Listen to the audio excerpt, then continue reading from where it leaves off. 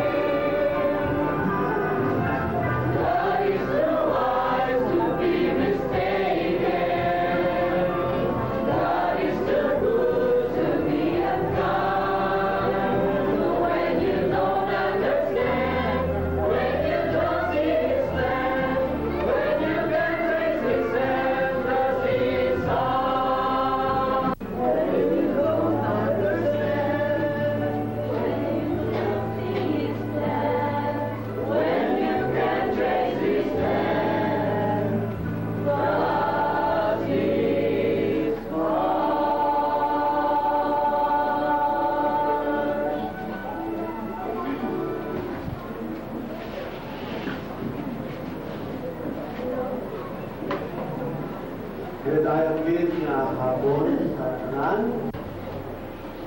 Ah,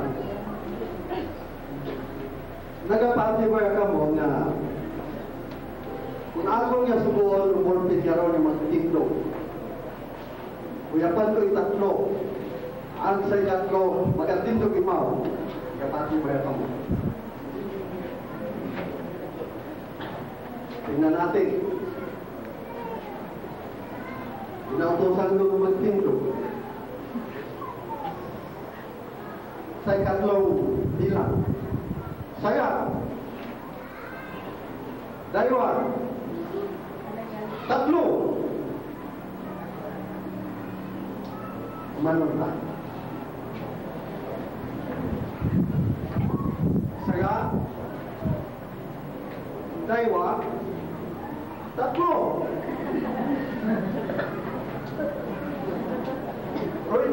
Nga ito nga kita ay nag-illustrate ko anang kabuhi tao.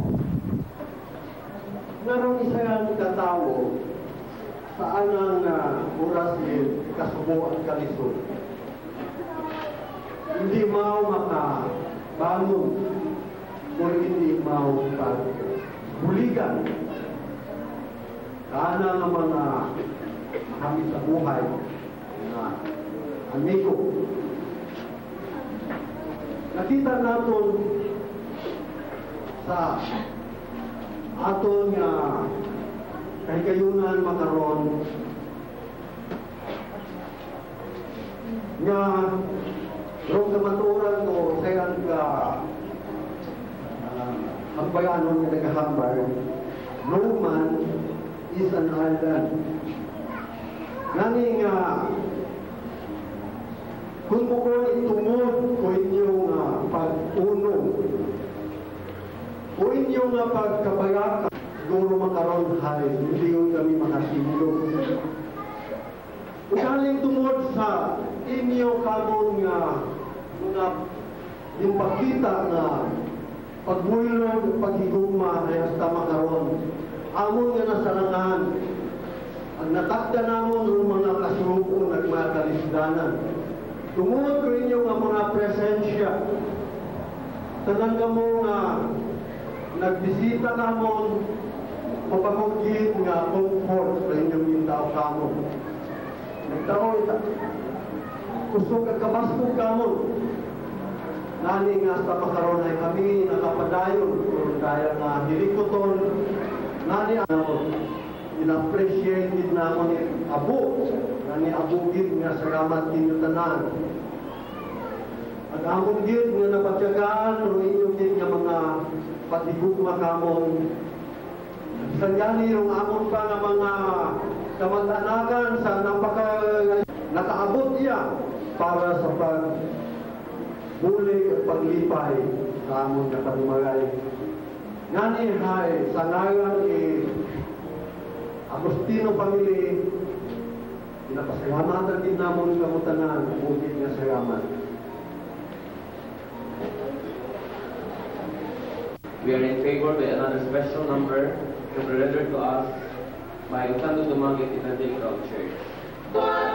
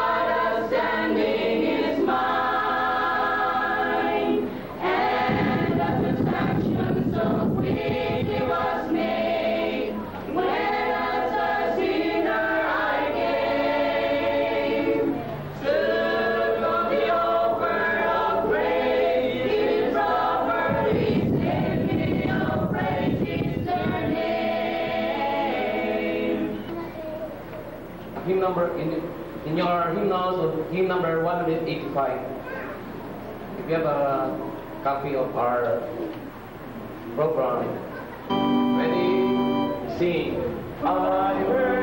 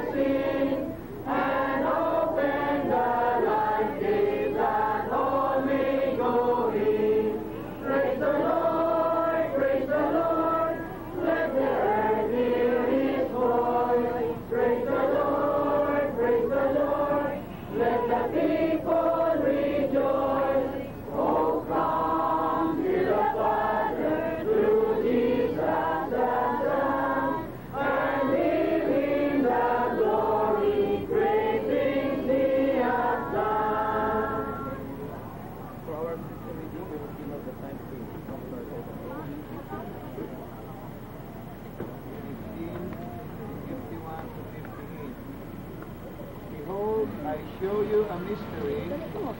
We shall not all sleep, but we shall all be changed.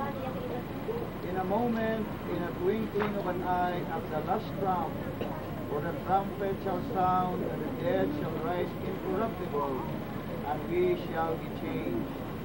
For this corruptible must put on incorruption, and this mortal must put on immortality. So when this corruptible shall have put on incorruption, and this mortal shall have put on immortality, then shall be brought to pass the saying that is written, Death is swallowed up in victory. O death, where is thy sting? O grave, where is thy victory? The sting of death is sin, and the strength of sin is the law. The Bible says, and is trying to remind us about the bright future of anyone who have put their trust in the Lord Jesus Christ. Atong gawaling ina, gipamakian naton ang sa una, ito'y po rin sa that, that death is not the end, but it is only a door towards eternity. If you have Jesus Christ, you will live forever. If you don't have the Lord Jesus Christ, you will live in eternal damnation. And so, here are the passages which give us, give it us hope and encouragement, especially to the family.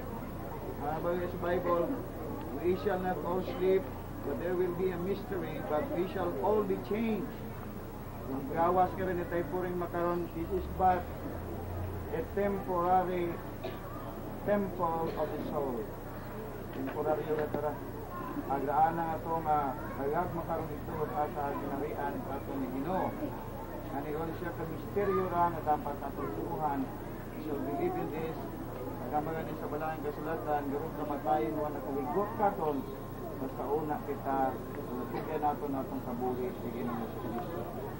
But thanks be to God, give us the victory our Lord Jesus Christ. We will always be victorious, whether by life we thank the Lord ikaluyan na, rin what we have heard from sons and daughters. Is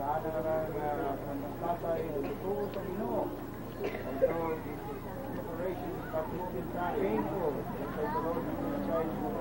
his beloved Lazarus. We will also be weeping for our beloved ones who be departing. But we know that someday we will be together in the Lord. Kung kapangabuyo kita, you know, we know that you have a purpose in getting his soul to his body. You, we know that you have a purpose as what the, the soul goes, that you are too wise to make mistakes and too good to be unkind. You know, Lord, that you want you do not want him to suffer, but you want him to return so that he will experience your promise, the promise of eternal bliss, the promise that there will be no pain, the promise that there will be no sorrow, there will be no death, and there will be eternal joy and happiness the weak.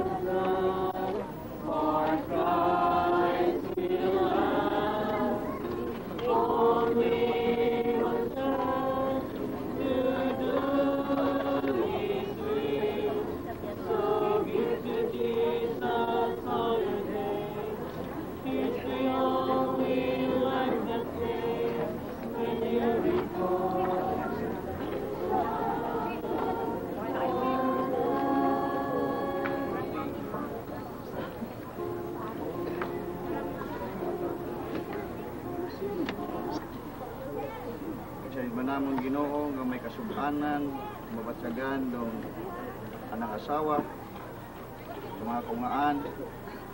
Lord, ikaw nakaintindi. You are the God of all comfort. We pray, Lord, to make him feel your presence to them. You know that you're always there. And so we commit also, Lord, we thank you for the needs who had been met. Thank you for providing their needs. Thank you not only for providing their physical, but emotional and spiritual needs. So we thank you, Father, for the snacks that they have prepared for those who have shared their moments of sorrow. So we commit all these things, Father. In Jesus' name we pray. Amen and amen.